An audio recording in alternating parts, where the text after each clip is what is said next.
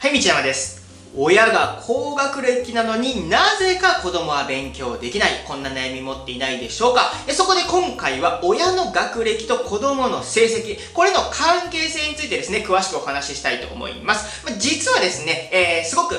面白い関係性があるんですね。この僕が独自に調べたデータと、あとはですね、親が高学歴なほど子育てって難しくなるっていう現実もあるわけです。この理由についてもね、詳しくお話ししたいと思います。もしこの動画を見てるあなたの、えー、学歴がですね、もともとすごく高くて、で、お子さんはちょっと今なかなか振るっていないという場合、もう今日の動画はめちゃくちゃ役に立つと思うので、えー、ぜひ参考にしてみてください。はい、じゃあまず最初にですね、いただいた相談内容から読んでいきたいと思います。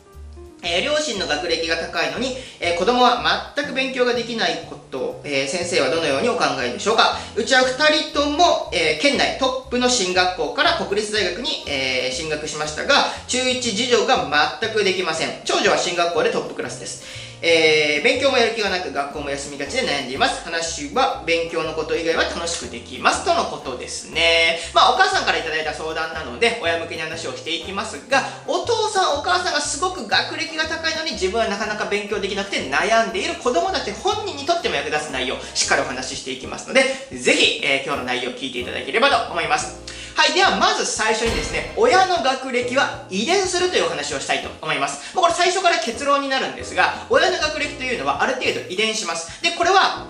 え動画のねから引っ張ってきたデータではなくて、これ僕の独自で調べたデータになるので、えー、まあ、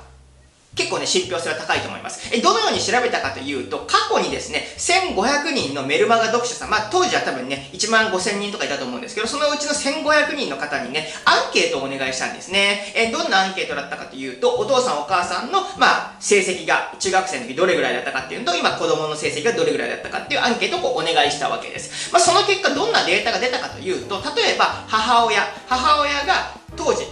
内心オール4以上だった場合子供がオール4以上になる確率は35%だったんですね一方親がオール2未満だった場合子供がオール4以上になる確率は23%しかなかったわけですで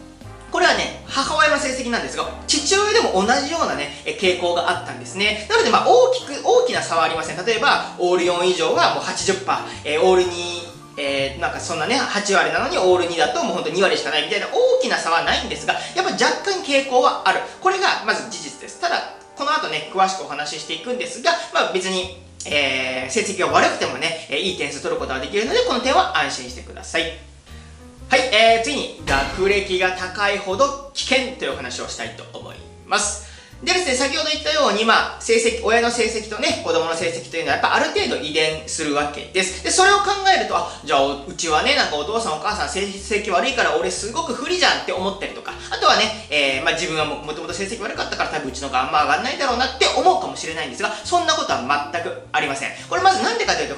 があってですね、まず1つ目に、親が成績が悪かったのに子供が成績いいっていうケースはたくさんあります。だから、全然そのパターンもあるので、これ全く気にしなくていいです。で、もう一つは、実は親が高学歴なほど子育てって難しくなっちゃうんです。これなんで難しくなるのか、これあくまでも僕の経験則なんですが、えーやっぱりね、おお父さんお母さんがあまり成績が良くなかった、まあそうですね、オール2とかオール3とか、まあそれぐらいの平凡ぐらいだった方の方が子育てうまくいきやすいような感覚があるんですね。これあくまでも感覚です。で、なんでそうなるかっていうと、例えば親が高学歴だと、ついこんな言葉言ってしまいませんか？え、なんでそんな問題できないの？それ、そんなのめちゃくちゃ簡単じゃんみたいな。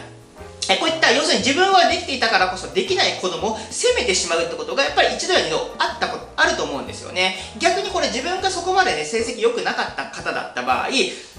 とできた問題とかあったらえすごいじゃん60点も取れたの？みたいなこと言えますよね。自分が仮にじゃあ20点しか取れてなかったら。だからやっぱり基準をね下げられるんですよね子育ての基準を。だから子育てがうまくいきやすくなるわけです。なのでまあまとめると仮にね子供が、えーまあ、自分自身がねじゃあ成績はね、えーそこまで良くなかったとなかったとした場合でも逆に子育てはうまくいきやすくなるけのでその結果子供の成績も上げることは可能というわけです。じゃあ次にですね高学歴の親が意識する2つのことというお話をしたいと思います、まあ、今回の相談者の方はねもともとね高学歴だったということなのでじゃあこの場合どのようにしたら子供を伸ばしていくことができるのかポイント2つあるんですね。1つがまずは自分と子供を比べないっていうことです。これ先ほど言った通りえ、なんでそんな問題できないのって言葉は、無意識で自分の当時の、まあ、成績と子供の今の状態を比べちゃってるわけですよね。これは絶対にいけません。えこれをすると、え子供はどんどんどんどん荒れていきます。あともう一つ大事なのは、まあ、お姉ちゃんは成績いいって書いてあった